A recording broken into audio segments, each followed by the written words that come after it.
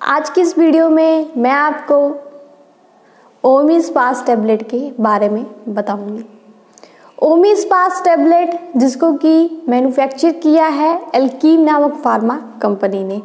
अब मैं आपको बताऊँगी कि ओमिस पास टैबलेट के अंदर क्या क्या केमिकल है।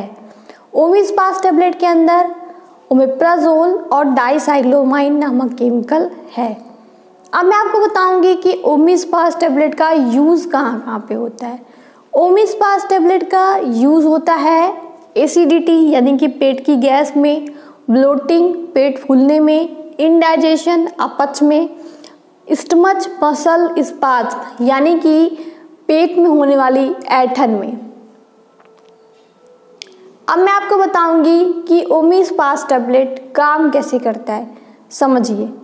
जो ओमिस पास ट्रिबलेट है ना, उसमें जो आपका ओमिप्राजोल है, वो प्रोटोन पंप इनहिबिटर कैटेगरी की मेडिसिन है। तो वो क्या करता है ना, कि आपके पेट में जो एसिड का सिक्रेशन होता है, उसको इनहिबिट करने का काम करता है। आपको पता है, आपके पेट में एसिड का सिक्रेशन होना क्यों ज़रूरी है? आप जो भी खाना वगैरह खाते हैं ना, उस खाने को अच्छे से पचाने के लिए बैक्टीरिया को खाने के साथ में आए हुए बैक्टीरिया को मारने के लिए।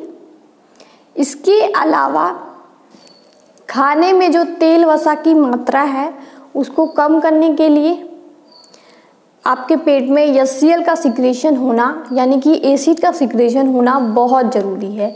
लेकिन प्रॉब्लम तो तब क्रिएट होती है जब यही एल या फिर यही एसिड ज़्यादा मात्रा में पेट में सिक्रेट होने लगता है। तो प्रोटोन पम्प इनिबिटर क्या करता है? एसिड की मात्रा को पेट में कम कर देता है। यानी कि उतनी ही मात्रा रखता है आपके पेट में एसिड की, जितनी कि आपकी बॉडी को रिक्वायरमेंट है या फिर ज़रूरत है। अब मैं बताऊँगी डाईसाइक्लोमाइन कैसे काम करता है। जो इस दवा में डाईसाइक्लोमाइन है, वो आपका एंटी मस्करिन कैटेगरी की मेडिसिन है। तो ये क्या करता है कि आपके पेट और आंतों की मांसपेशियों को आराम पहुंचाता है। जिससे कि क्या होता है कि आपको पेट दर्द, पेट में होने वाली ऐठन में आराम मिलता है, क्योंकि ये आपके पेट की और आंत की मांसपेशियों पे सीधा असर करता है। अब मैं आपको बताऊँगी कि ओमिस पास टेबलेट के साइड इफ़ेक्ट क्या क्या है।